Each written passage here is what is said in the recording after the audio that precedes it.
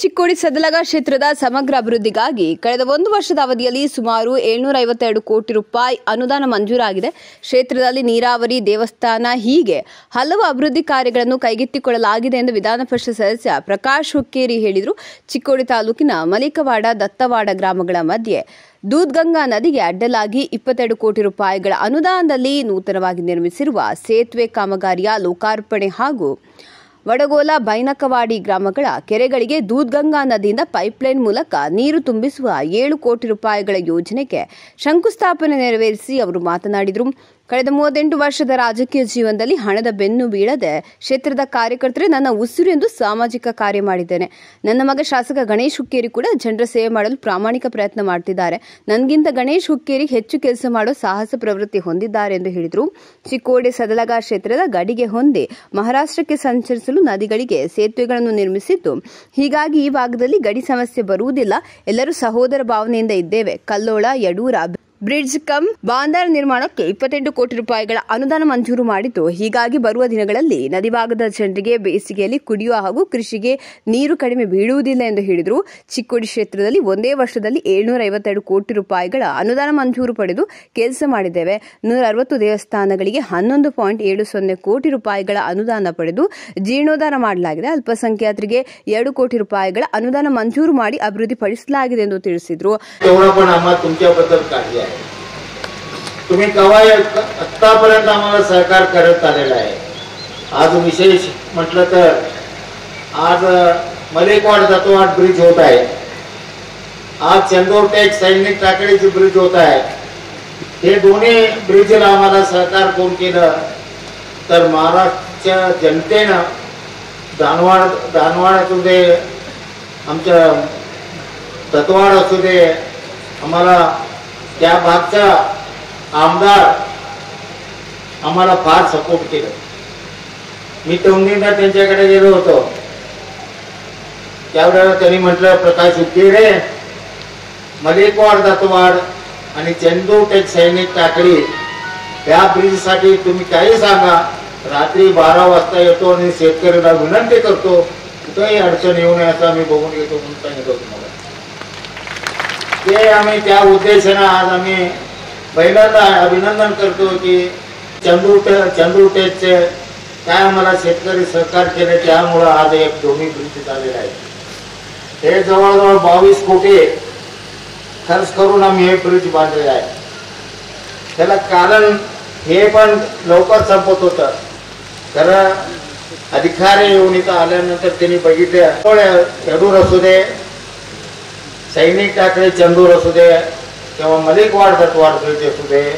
हे तीन मीटर तीन फूट उंच करायला पाहिजे. ट्रॉफिक सगळं ह्या बाजूनं जाणार आहे पुढं तिथं आम्हाला कोल्हापूर जवळ होतंय.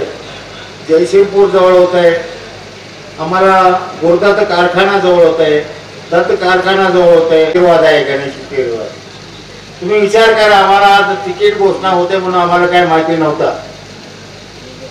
आज ए आय सी सी कडनं तिकीट घोषणा कर- होते म्हणून आम्हाला काय माहिती नव्हतं. आज आम्ही कोड ऑफ कंडक्ट बहुतेक उद्या सत्तावीस ला येणार आहे त्याचा अगोदर जिल्हा पंचायती मेंबर झालेला आहे. दोन वेळ आमदार झालेला आहे आता तिसरा वेळ तुम्ही आमदार होणार आहे. प्रकाश हुक्केरीला मागा टाकून तुम्ही पुढे जायला पाहिजे.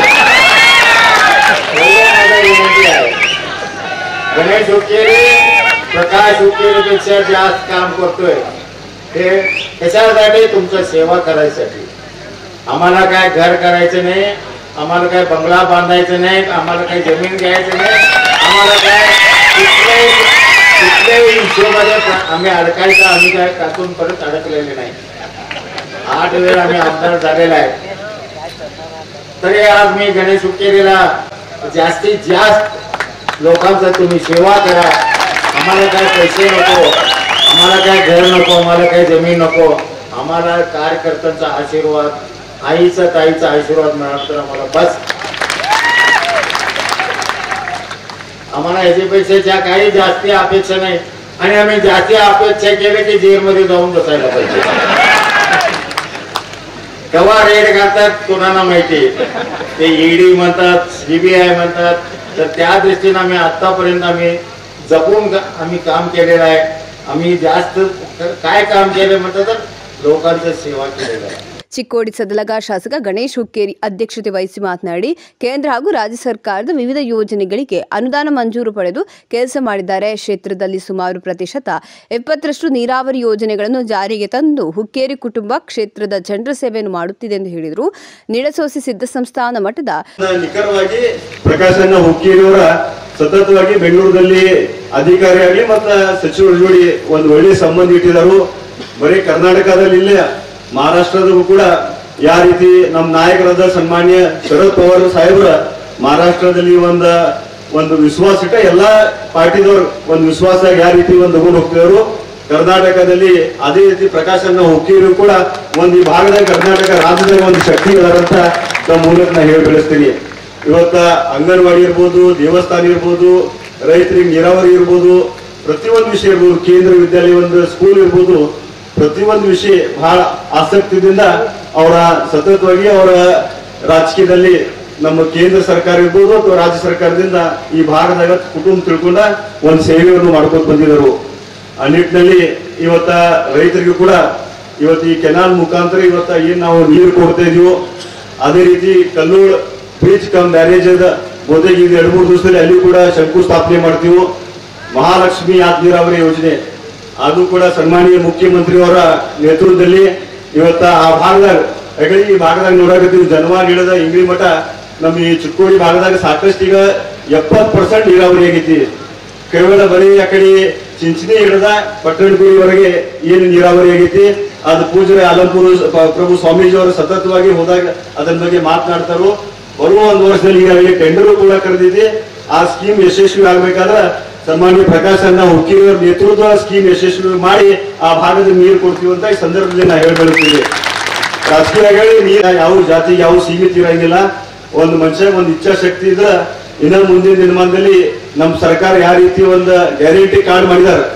ಪ್ರತಿಯೊಬ್ಬ ಹೆಣ್ಮಗಳಿಗೆ ಪ್ರತಿ ತಿಂಗಳ ಎರಡು ಸಾವಿರ ರೂಪಾಯಿ ತಮ್ಮ ಅಕೌಂಟಿಗೆ ಜಮಾ ದುಡ್ಡು ಆಗ್ತೈತಿ ಇವತ್ತ ಇವತ್ತು ಸರ್ಕಾರದಿಂದ ಏನು ಐದು ಕೆಜಿ ಅಕ್ಕಿ ಕೊಡ್ತಾ ಇದೀವೋ ನಮ್ಮ ಸರ್ಕಾರ ಬಂದ ಮೇಲೆ ನೇರವಾಗಿ ಹತ್ತು ಕೆ ಜಿ ಅಕ್ಕಿ ನಿಮ್ಮ ಮನೆ ಮುಟ್ಸುವಂತ ವ್ಯವಸ್ಥೆ ಮಾಡ್ತೀವಿ ಎರಡು ಯೂನಿಟ್ ಫ್ರೀ ಇವತ್ತ ಪ್ರತಿಯೊಬ್ಬರು ಮನೆಗಳ ಏನ್ ಇವತ್ತ ನೀವೇನು ಯೂನಿಟ್ ಜನರೇಟ್ ಮಾಡ್ತೀರಿ? ಪಾಟೀಲ್ ಸಾಹೇಬ್. ಸರ್ಕಾರ सरकार ಯೂನಿಟ್ ಪ್ರತ್ಯೇಕ प्रत्येकला सरकारला ಯೂನಿಟ್ ಫ್ರೀ ಇರುತ್ತೆ. ಆ ಯುವಕ ಎಲ್ಲ ಯಾರು ಗ್ರಾಜ್ಯುಯೇಟ್ ಆಗಿ ಯಾರಿಗೆ ಉದ್ಯೋಗ ಇಲ್ಲ.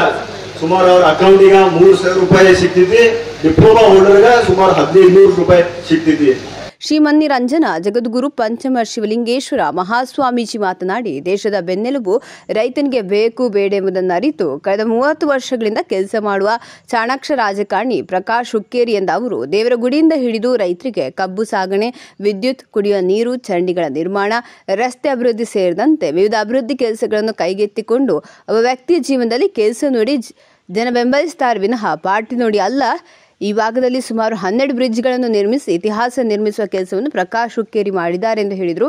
ಚಿಂಚಣಿ ಶ್ರೀ ಅಲ್ಲಂಪ್ರಭು ಮಹಾಸ್ವಾಮಿಗಳು, ಚಿಕ್ಕೋಡಿ ಶ್ರೀ ಸಂಪಾದನ ಮಹಾಸ್ವಾಮಿಗಳು, ಸದಲಗ ಗೀತಾಶ್ರಮದ ಡಾಕ್ಟರ್ ಶ್ರದ್ಧಾನಂದ ಮಹಾಸ್ವಾಮಿಗಳು, ಜೋಡಕುರಳಿಯ ಸಚ್ಚಿದ್ಗಾನಂದ ಮಹಾಸ್ವಾಮಿಗಳು, ಅನಿಲ್ ಪಾಟೀಲ್ ಬಬನ್ನ ಚೌಗಲೆ, ಬಾಳಸಾಹೇಬ ಪಾಟೀಲ್, ತಾತೋಬ ಪಾಟೀಲ್, ರಾಜೇಂದ್ರ ಕರಾಳೆ ಪೀರಗೌಡ ಪಾಟೀಲ್, ರವೀಂದ್ರ ಮಿರ್ಜೆ, ಮಲ್ಲಿಕಾರ್ಜುನ ಪಾಟೀಲ್, ವಿನೋದ್ ಕಾಗೆ, ಸುರೇಶ್ ಚೌಗಲ, ಸುದರ್ಶನ್ ಕೋತಮ್ ಅರುಣ್ ದೇಸಾಯಿ, ಮಲ್ಲು ಹವಾಲ್ದಾರ ಪುಂಡಲಿಕ ಕೋತಾಬ್, ಮಾರುತಿ ಬಾನೆ, ಸುಭಾಷ್ ಕಲ್ಯಾಣಿ, ಪಾಂಡು ಮಾನೆ, ವರ್ಧಮಾನ ಸದಲಗೆ ರಾಮ ಮಾನೆ ಉಪಸ್ಥಿತರಿದ್ದರು. ಪಟ್ಟಣ ಪಂಚಾಯತ್ ಸದಸ್ಯ ಸುನೀಲ್ ಸಪ್ತಸಾಗರ ಸ್ವಾಗತಿಸಿದರು.